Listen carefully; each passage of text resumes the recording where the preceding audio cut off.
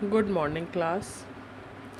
Class, today we will discuss the last topic of chapter number 4 that is food chain. Knowing enough about adaptations and modifications in living things to combat the hardship of the environment. It helps them to survive in the toughest time and uh, knowing enough about the usage of body features which are well suited to their environment. We today we will discuss in detail what is food chain and the food chain is basically the energy flow among animals. And food chain shows the relationship among living things.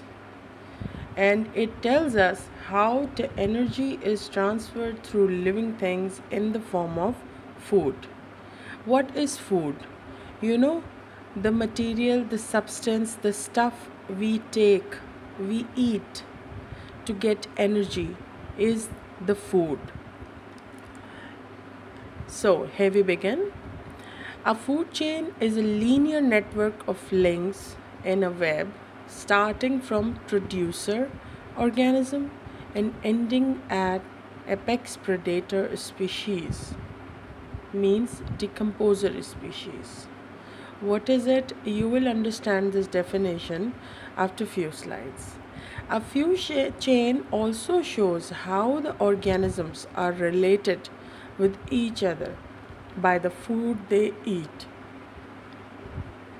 And each level of a food chain represents a different trophic level. So, the whole story is beginning from the sun you know sun is the source main source of energy on earth planet every time we say this but why we say this? Because all the energy that is utilized on the earth it's a natural source it's abundant it's free in nature. And sun becomes the source of food also. How is it possible? Because we are not eating light but it is the energy which is used by the plants to make their food. Do you remember the process of photosynthesis? Yes, of course, you know it. And sun is the form sun is the source of energy which produce light and heat. Now how are we going to use that light? You know, the plants and algae are the producers. Why they are called as producers? Because they are using light energy, water, and carbon dioxide to make their food, to make their glucose, to make their starch.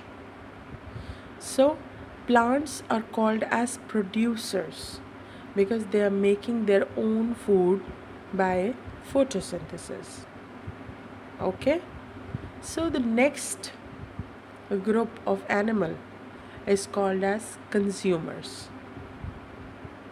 So the food chain begins with plants producing energy, producing food and the plants are eaten by consumers.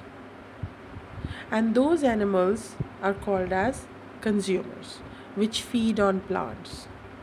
And consumers are classified as primary consumers, secondary consumers, and tertiary consumers. How it happens? Primary consumers are those animals which directly feed on plants. But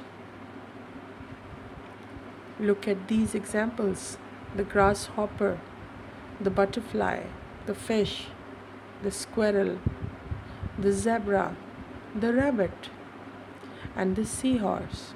All these animals are feeding on plants. The next level is called as secondary consumers. Secondary consumers are carnivores. Carnivores are those animals which are flesh eating animals. And herbivores are those animals which eat on plants, which eat on herbs. So, secondary consumers are carnivores and omnivores. Yes, omnivores means which eat both plants and animals. So, those animals which feed primary consumers are called as secondary consumers. For example, think about these animals which directly feed on plants. And this group of animals this owl can feed the squirrel a fish and a rat. So the owl becomes secondary consumer because it can eat the primary consuming animals the last stage comes the tertiary consumers Tertiary consumers are carnivores and omnivores that eat secondary consumers, like about the snake. The snake can eat this fish. The snake can eat this frog. And the lion, yes, the lion can eat this hyena, the dolphin, the fish and the seal. So, tertiary consumers, even the human beings, are also called as tertiary consumers because we are eating all those animals and plants which are dependent on each other. Yes. Now, we will be seeing in this picture that a tertiary consumer is hunting a secondary consumer. This picture is telling us so much about it. You just zoom the picture and see what is happening for food. Okay, the last stage is decomposers.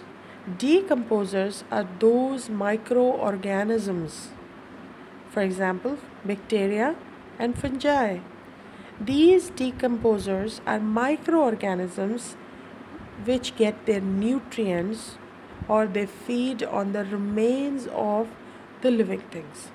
Remains means when animals die, they are decomposed or broken down by microorganisms into simpler substances.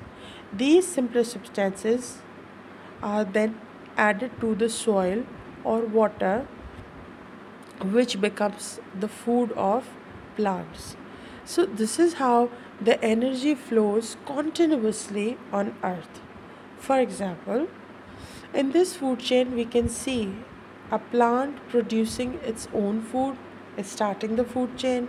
This butterfly is feeding on the plant, then consumer is consuming the butterfly, then a snake is eating the frog and when snake dies it is decomposed by microorganism and the remains of the snake means the decomposed material of the snake or the dead material of the snake is decomposed and added to the soil to add minerals and these minerals are then again absorbed by the plants using sunlight Another example you can see the plant, the grass producing its own food. Then the zebra is feeding on the plant. Then hyena is eating the zebra. Then hyena can further be eaten by the lion. And after the death of the lion, it is decomposed and added as mineral to the soil. heavy sea again. So, this is how the energy is flowing among animals. You know, every animal needs food to survive, it is the utmost need to maintain the process of life. So, this is how the one animal is feeding another animal, maintaining its number.